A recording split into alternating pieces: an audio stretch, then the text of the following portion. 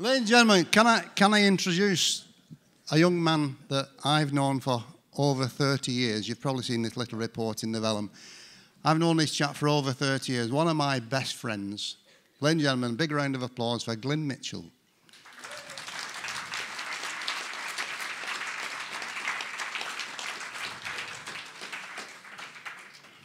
Now, he's not going to sing for you, he's not going to dance, he's not going to play his uke, but we're going to tell you a little story about Glynn that happened last September.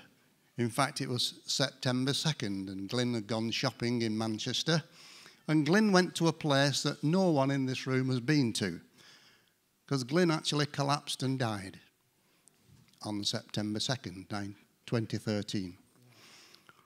And luckily for Glynn, there was a man also shopping in Manchester who saved Glynn's life. He did first aid and CPR and kept him alive until the paramedics arrived. And, ladies and gentlemen, that chap's here with us tonight. A lad who's a Lancashire lad, lives just up the road in Thornton. And luckily, he's a police sergeant that works in Blackpool, of all places. Ladies and gentlemen, let me introduce to you Sergeant Andy Smith.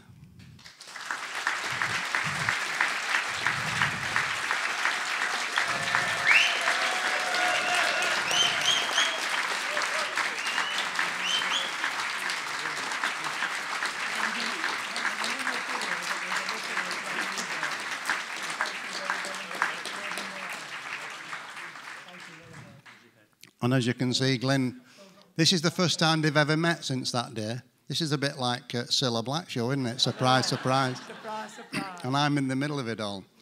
So, because Andy's a policeman, he can't accept gifts because saving people's lives is just part of everyday job for him. So, we wanted to give him something, but he's not really allowed to accept it. So we thought, well, sod that. Andy one of the things that we rarely, rarely give here is a free membership. So, what we'd like to do on behalf of the George Formby Society is give you a lifetime free membership of the George Formby Society. So, Vivian is going to bring up.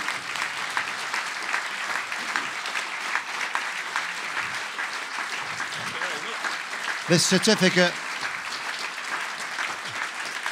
that says the Executive Committee and membership present a lifetime membership to Sergeant Andy Smith in recognition of his swift action in saving the life of one of our members, Mr. Glynn Mitchell, on the 2nd of September 2013. So there you are, Andy. Thank you very much. Thank you very much. On behalf of all the membership. Now, now, because you're a fully paid up member, you, you've got to have a membership card. So that's yours, and you'll get one of those free forever. And also, we'd like to give you our monthly magazine, which you'll get four times a year, which is our, our vellum. And you're, you're actually mentioned on page three. There's no photograph, but you're mentioned on page three. No. We'd also like you to present you with We'd like to present you with George Formby biography. This is going to keep you busy. now, strangely enough, I found out only today that Andy used to live in Wigan, where our, our hero used to live as well. So, how fantastic is that? And also, he has seen a few films, but we've got him a full set of films to enjoy so there, yeah, on behalf of the George Formby Society, Andy, the, yeah, there's, there's a set of films.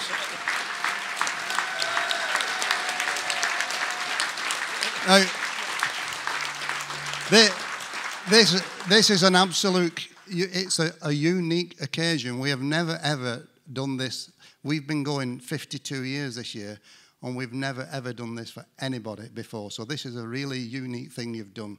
So thank you. And I know you can't accept gifts because your boss said, but we're going to give you, not that, we're going to, we're going to give you this. This is a check for 250 quid to give to a charity of your choice. All right, fantastic. Okay, so there you go with that.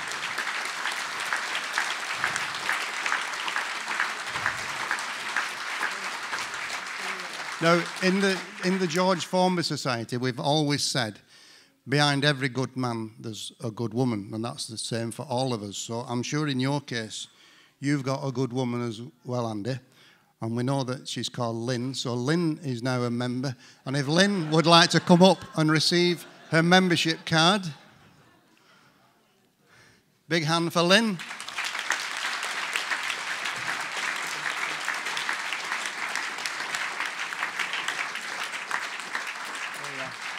You're a member. And also, we've got a nice bouquet for Lynn for looking after Andy. So, thank you very much. Would you like to say a few words? Are you all right with that? Do you want to move over here, Lynn? Do you want to move that way? No, move a bit. You okay there? Do you want to say a few words, Andy? Lost for words. Uh, thank you very much. Uh, just a few more coincidences we've been discussing just before we came in. Uh, I'm dead keen on DIY, handy Andy, because I was doing some research on your websites, um, and I know that there was a policeman song that George Formby sang. On the beat. Um, but when Glynn collapsed in Manchester, I was actually leaning against a lamppost looking into Marks and Spencer's. um, my wife had gone in buying some underwear. Well, it's not really a man's thing, is it, going in? So um, there was a few other coincidences other than the Wigan one. I was actually born in 1961. Um, so it's, uh, it's a strange old world, isn't it? Um, but really, thank you very much for this. The cheque will be going to the British Heart Foundation. Uh, thank you. I believe uh, Glynn has had a heart bypass. heart bypass. Um, and my father passed away a couple of years ago with a heart attack, so it's, uh, it's very apt, really. So. Thanks. Cheers. Thanks,